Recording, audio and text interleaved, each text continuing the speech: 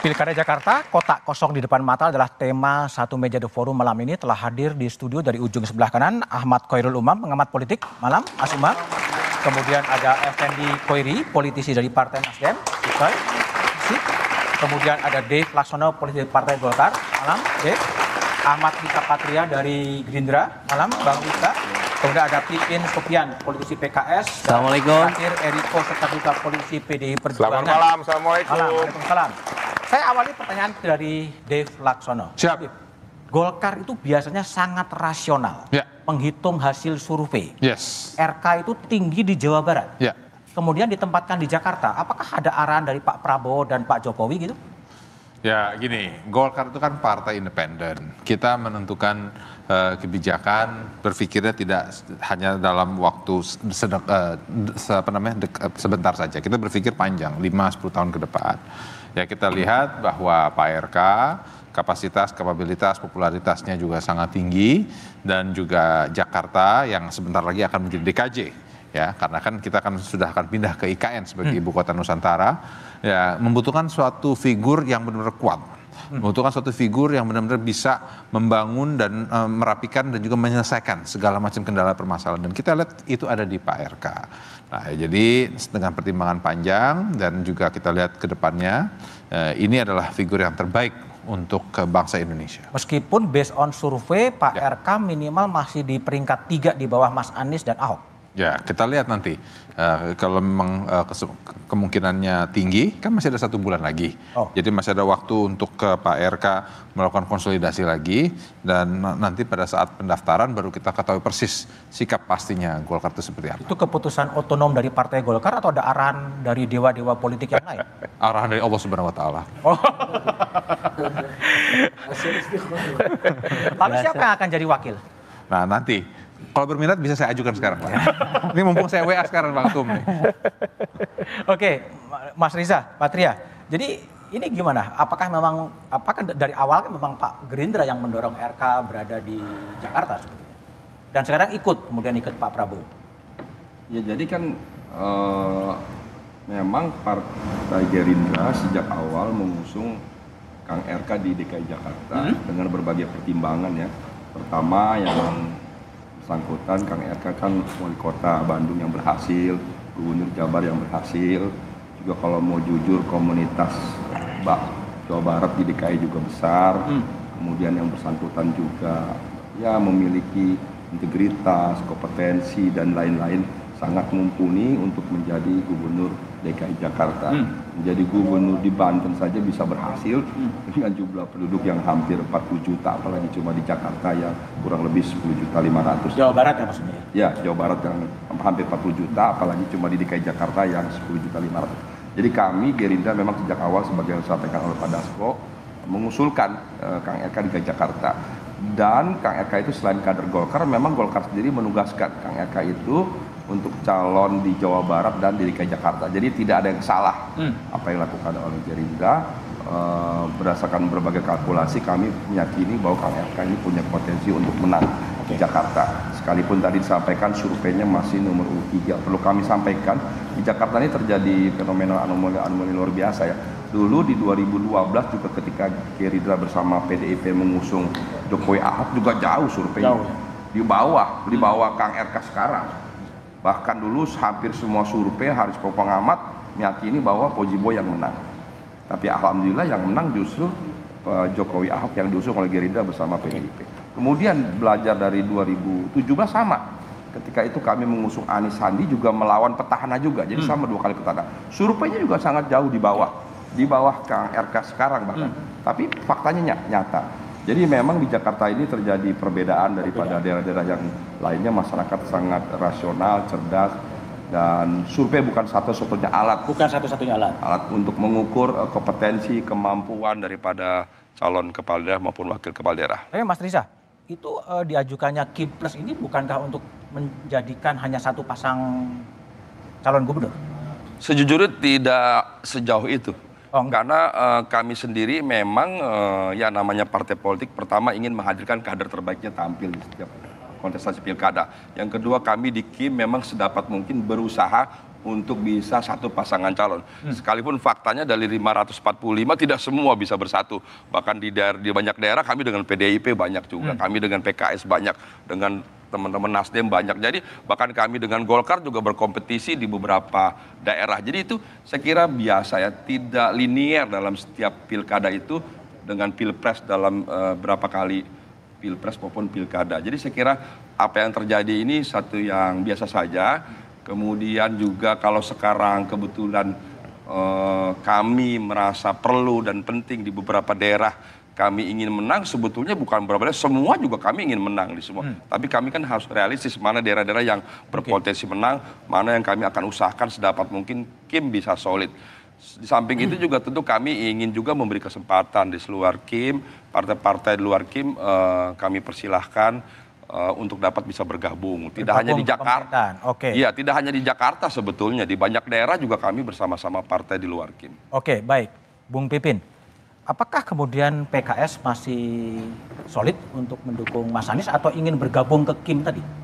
Sampai hari ini kurang lebih 40 hari aman pasca dideklarasikan. Oke. Kami sudah konsolidasi internal PKS di internal struktur PKS, kader PKS sudah door to door, kemudian baliho, billboard sudah eh, terpasang di mana-mana dan juga kami eh, apa melakukan lobby-lobby komunikasi politik kepada Nasdem, PKB termasuk PDIP dan juga kami sudah mengeluarkan SK Anies eh, Sohibul Iman Oke. sebagai tanda keseriusan kami bahwa kami mengusung eh, calon yang menurut kami yang terbaik. Termasuk seandainya masuk ditawarin kursi menteri, kabarnya kalau Beledera kan tiga, dua gitu PKS masuk.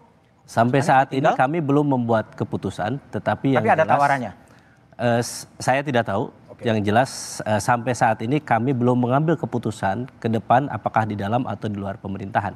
Nah saya kembali ke eh, pencalonan kami di Pilkada DKI karena sudah 40 hari itu kami berusaha untuk mendapatkan respon dari calon-calon mitra koalisi kami. Dan belum dapat. sampai saat ini belum dapat SK dari eh, Nasdem maupun PKB, maka kami tentu akan eh, pimpinan mempertimbangkan apakah akan memperpanjang eh, waktu kepada Mas Anies Sampai? supaya dapat tugas. Saya pekan eh, pertama Agustus ini sebetulnya Pertama, kami pertama Agustus. Oke. kami Gus Coy, berikan Jadi gimana? Tadi belum Pak ada sambutan dari PKB gitu katanya juga.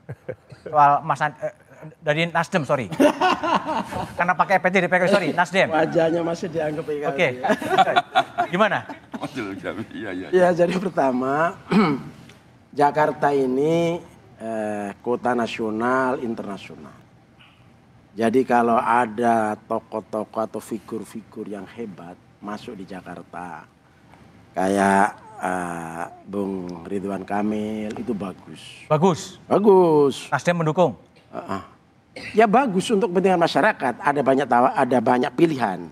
Kemudian ada Mas Anies yang memang sudah punya bukti eh, memimpin Jakarta bersama Jakarta bersama Pak, Pak Reza ini kan sukses. Hmm. Kemudian ada Ahok dari PDIP itu kan ini bagus. Jadi rakyat diberi pilihan putra-putra terbaik bangsa untuk memimpin kota internasional. Meskipun nanti tidak lagi ibu kota, Oke lah, tapi tapi pertanyaannya Nasdem masih dukung Mas Anies atau udah mau masuk ke dalam? Yang jelas deklarasi sudah dilakukan. Re- Rekom belum? Uh, rekom secara resmi belum. Kalau ada apa-apa ya kita tunggu ke depan seperti apa. Tunggu apa? Tapi kita berharap, ya nunggu waktu momen. Momen. Tapi kita tetap berharap bahwa Jakarta eh, banyak calon yang hebat-hebat. Sehingga rakyat punya pilihan yang hebat-hebat. Oke. Inilah saya kira eh, akan terjadi demokrasi yang sehat, demokrasi yang memang rakyat bisa leluasa untuk memilih sesuai dengan hati nuraninya. Oke, memilih kota kosong enggak ya? Oke, Bung Eriko. Jadi kalau PDIP gimana? PDIP juga kelihatannya bingung juga kelihatannya itu. Mas Budiman, saya dari tadi, saya belum pernah loh adik-adik dan seluruh pemirsa ada di kiri luar begini. Biasanya di tengah-tengah antara itu. Ya. Ini berarti memang Supaya dekat dengan aku maksudnya. Kak Kak Pimpin, berarti agak terpinggirkan memang kita ini. Tapi jujur aja Mas Budiman, sebenarnya saya, kami ya, jangan saya lah, kami sudah menduga hal ini, bukan karena nama saya Riko Sotarduga ya. Makanya Duga kan, apa? ini akan terjadi gitu. Apa yang akan terjadi itu ini itu apa? Iya, konsep-konsep seperti ini. Kalau dari segi kita cerita kewajaran, Hmm? bahwa semua orang atau semua partai mau menang itu pasti karena cerita 2029. Hmm. Oh. Sekarang ini sudah direncanakan jauh-jauh siapa nanti akan 2029. Oh, sudah Kan ya? Kira-kira begitu. Nah, kami sudah memahami hal ini, makanya kami juga tidak bisa mendahului. Apa yang bisa kami lakukan dengan 15 kursi dari kebutuhan 22 kursi? Hmm. Tidak ada pilihan lain kecuali bersama-sama dengan partai lain. Nah, ini kalau kita mau kami sudah melihat eh, seperti Nasdem ya, eh, sebenarnya sudah terbaca. Kita lihat Adinda Saroni sudah nyampaikan kemungkinan berubah. Itu kan sudah tanda-tanda. PKS juga sudah kelihatan tanda-tandanya itu semua kalau kita melihat dengan jernih kan. Nah, kenapa saya berulang kali menyampaikan menawarkan dengan PKB? Kenapa?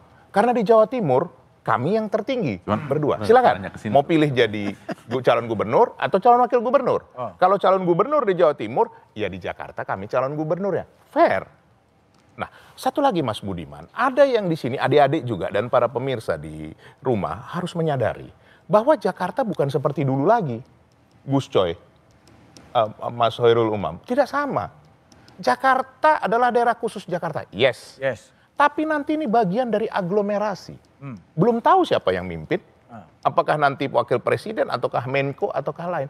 Jadi peran kepala daerah di sini tidak sama dengan waktu zaman Ahok atau Anies tidak sama. Nah, begitu juga daerah-daerah di Jawa ini Mas eh, Budiman, ini penting untuk 2029. Inilah yang akan menjadi kader-kader menjadi pemimpin nasional. Nah, ini dilihat oleh semua partai. Nah, kalau sudah ada direncanakan untuk untuk memproyeksikan ke 2029 secara rencana tidak salah. Tapi juga perhatikanlah keinginan rakyat. Karena kenapa? Loh, nanti yang menerima rakyat kok. Yang memilih rakyat, satu. Kedua, yang merasakan akibatnya lima tahun ke depan adalah rakyat. Dan nanti jangan kalau karena ini kemudian rakyat yang mendapatkan akibatnya, kemudian siapa yang mau tanggung jawab? Nah, Baik. itulah yang kami sebenarnya bagikan.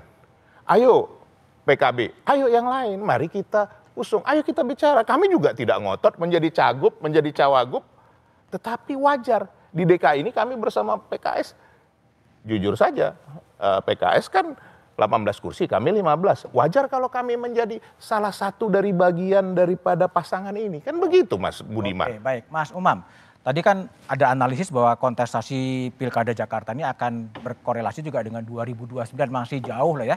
Tapi apa sih bacaan Anda soal Kim harus ditambah plus gitu dalam konteks Pilkada tapi jawabannya setelah jeda.